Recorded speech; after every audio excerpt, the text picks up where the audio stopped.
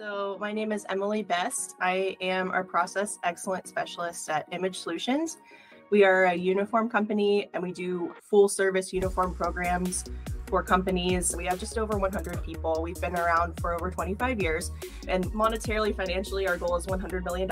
So, our, our, that's our big strategy for the next few years is to hit that benchmark. We are well on our way. We're getting a great customer base and also our account managers and salespeople. We've got great tools within Whale to help instruct them on how to get you know deeper and wider in the organizations that we do have to be able to build that sales base. So we are growing our team, which you know means new people that have to be trained, but we're not worried about it when we've got such a great solution like Whale to be able to to guide them through it for sure. We hire good people for a reason. They're experts in their in their job area. They know how to do things, and we want to make sure that that knowledge is captured they are PE champions, or we have our, our process excellence uh, mascot is Bruiser, our PE bulldog. So we call them PE bruisers too.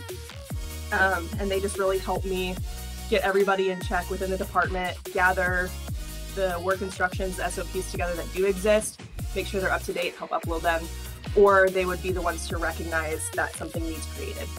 So it's just it's really a team effort. If you're the person who's nominated to do it in your organization, that's a big responsibility and, and it's a great responsibility, but you need to also have people who are there to help you build it. And that'll get great engagement from your team too.